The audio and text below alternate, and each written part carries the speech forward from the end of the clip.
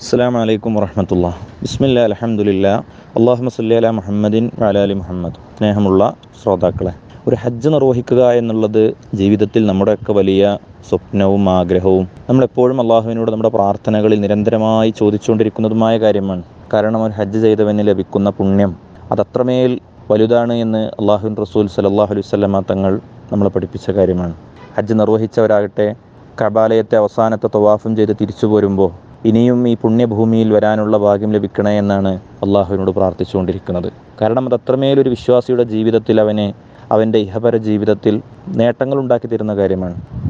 അള്ളാഹു നമ്മൾക്ക് എല്ലാവർക്കും പരിശുദ്ധ ഹജ്ജ് കർമ്മം നിർവഹിക്കാനുള്ള തോഫിയൊക്കെ പ്രദാനം ചെയ്യുമാറാവട്ടെ. സഹോദരങ്ങളെ അള്ളാഹുൻ റസൂൽ സല്ലാഹു അലൈഹി വസ്ലമ തങ്ങൾ ഹജ്ജിന്റെ പുണ്യം ലഭിക്കുന്ന ചില കർമ്മങ്ങൾ നമ്മളെ പഠിപ്പിച്ചിട്ടുണ്ട്. ഹജ്ജ് നിർവഹിക്കാൻ ശാരീരികമായോ സാമ്പത്തികമായോ വഴികൊണ്ടോ ഒക്കെ നമ്മൾക്ക് അസൗകര്യങ്ങളുണ്ടെങ്കിൽ പോലും ഒരു ഹജ്ജ് നിർവഹിച്ച പുണ്യം ലഭിക്കുന്ന ചില കാര്യങ്ങൾ അള്ളാഹുവിൻ റസൂൽ പഠിപ്പിച്ചു തന്നിട്ടുണ്ട്. ഒരു ദിവസം ഏഴ് തവണ ഹജ്ജ് നിർവഹിച്ചവന്റെ പുണ്യം. ഒരുപക്ഷെ നമ്മുടെ വീട്ടിലിരുന്നു കൊണ്ട് നാട്ടിലിരുന്നു കൊണ്ട് നമ്മുടെ നാട്ടിലായിക്കൊണ്ട് തന്നെ നമുക്ക് ലഭിക്കുമെന്നാണ് അള്ളാഹുൻ റസൂലിന്റെ ഹദീസുകളിലൂടെ നമുക്ക് മനസ്സിലാക്കാൻ സാധിക്കുന്നത്. പ്രവാചകൻ സല്ലല്ലാഹു അലൈഹി വസല്ലം തങ്ങൾ പറഞ്ഞു മൻ ഖറജ മിൻ ബൈത്തിഹി മുതതഹിറൻ ഇലാ സ്വലാത്തിൻ മക്തൂബ ഫഅജ്റുഹു കഅജ്റിൽ ഹാജിൽ മുഹ്രിം. ഒരാൾ തന്റെ വീട്ടിൽ നിന്ന് വുളു എടുത്ത് അവൻ പള്ളിയിലേക്ക് ജമാഅത്ത് നമസ്കാരത്തിന് വേണ്ടി പോയാൽ അവനൊരു ഹജ്ജ് ചെയ്തവന്റെ പുണ്യമുണ്ട് എന്ന് അള്ളാഹുവിൻ റസൂൽ സല്ലല്ലാഹു അലൈഹി വസ്ലാമ തങ്ങൾ. അഥവാ ഒരു ദിവസം അഞ്ചു നേരവും നമ്മൾക്ക് ലഭിക്കുന്ന പുണ്യമാണിത്. ജമാഅത്തിന് പോകുമ്പോൾ ഈ ഒരു നീയത്തോടു കൂടെ പോകാൻ നമുക്ക് സാധിക്കണം. ഒരു ജമാഅത്ത് നഷ്ടപ്പെടുമ്പോൾ നമ്മൾക്കൊരു ഹജ്ജ് ചെയ്തവന്റെ പുണ്യമാണ് നഷ്ടപ്പെടുന്നത് എന്ന് ഉള്ള ഗൗരവബോധം നമ്മൾക്കുണ്ടാകണം. ഒരു ദിവസം അഞ്ച് ഹജ്ജിന്റെ അല്ലെങ്കിൽ ഹജ്ജ് ചെയ്തവന്റെ പുണ്യം നമ്മൾക്ക് അഞ്ച് വക്ത ജമാഅത്ത് നമസ്കാരത്തിലൂടെ ലഭിക്കുമെന്ന് അള്ളാഹുവിൻ റസൂൽ സല്ലല്ലാഹു അലൈഹി വസല്ലം തങ്ങൾ പറയാണ്. അപ്പോൾ ഒരാൾക്ക് അഞ്ച് തവണ നിർവഹിക്കുന്നതിലൂടെ അഞ്ച് ഹജ്ജിന്റെ പുണ്യമാണ് അള്ളാഹുവിൻ റസൂൽ അലൈഹി വസല്ലം തങ്ങൾ പറയുന്നത്.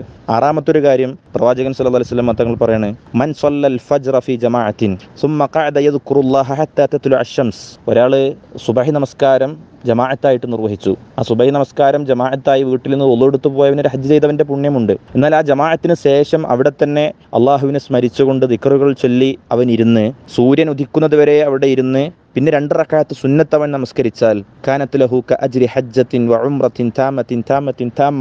അവനൊരു ഹജ്ജും ഉംറയും പരിപൂർണമായി അത് നിർവഹിച്ചവന്റെ പുണ്യമുണ്ട് എന്ന് അള്ളാഹുവിന്റെ റസൂൽ സല്ലാഹു അലൈഹി വസല്ലമ തങ്ങൾ പറയാണ്. അള്ളാഹുൻ റസൂൽ വസല്ലമ തങ്ങൾ പറഞ്ഞു മൻ ഗദ ഇലൽ മസ്ജിദി ലാ ഇല്ല അൻ യതഅല്ലമ ഖൈറൻ ഔ യുഅല്ലിമഹു. ഒരാൾ പള്ളിയിലേക്ക് രാവിലെ പ്രഭാതത്തിൽ അവൻ പള്ളിയിൽ പോകുന്നത് ഒരു നന്മ പഠിക്കണമെന്നോ അല്ലെങ്കിൽ ഒരു നന്മ ഒരാൾക്ക് പഠിപ്പിച്ചു കൊടുക്കണമെന്നോ ഉദ്ദേശത്തോടു കൂടെയാണ് അവൻ പള്ളിയിൽ പോകുന്നത് എങ്കിൽ കാനലഹു ക അജ്രി ഹാജിൻ താമൻ ഹജ്ജത്തുഹു.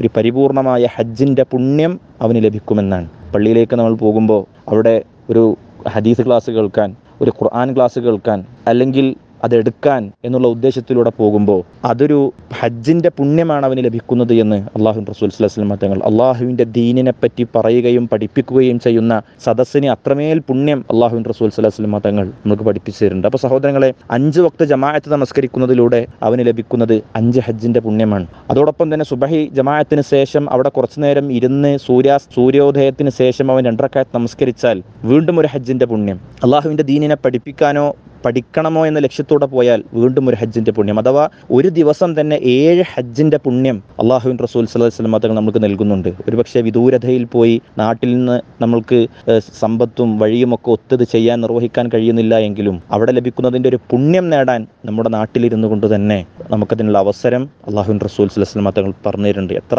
റഹ്മാനാണ് റബ്ബ് എത്ര റഹീമാണ് റബ്ബ് സുബാനഹുത്താല അടിമകളോട് എത്രമേൽ കാരുണ്യമുള്ളവനാണ് റബ്ബ് എത്രമേൽ പുണ്യമാണ് അള്ളാഹു സുബ്ഹാനഹുവത്താല നമുക്ക് നൽകുന്നത്. പക്ഷേ ഈ ഒരു ശ്രദ്ധയും ഈ ഒരു അറിവും ആർജിച്ച് ശ്രദ്ധയോടുകൂടെ ഇത് നിർവഹിക്കുന്നിടത്ത് വിജയിക്കുക എന്നുള്ളതാണ് ഒരു വിശ്വാസിയുടെ ജീവിതത്തിൽ ഏറ്റവും പ്രധാനം. അത് നമ്മൾക്ക് സാധിക്കണം. അള്ളാഹു അനുഗ്രഹിക്കുമാറാവട്ടെ. അസ്സാം വലൈക്കും വാഹമത്തുള്ള വിസ്ഡം ഇസ്ലാമിക് ഓർഗനൈസേഷൻ അവതരിപ്പിക്കുന്ന നേർവഴി. എല്ലാ ദിവസവും ഏതാനും മിനിറ്റുകൾ സാമൂഹിക വൈയക്തിക കുടുംബരംഗങ്ങളെ വിശകലന വിധേയമാക്കുന്നു. അറിയുക അറിയിക്കുക. നേർവഴി. Peace Radio. Tune to reality.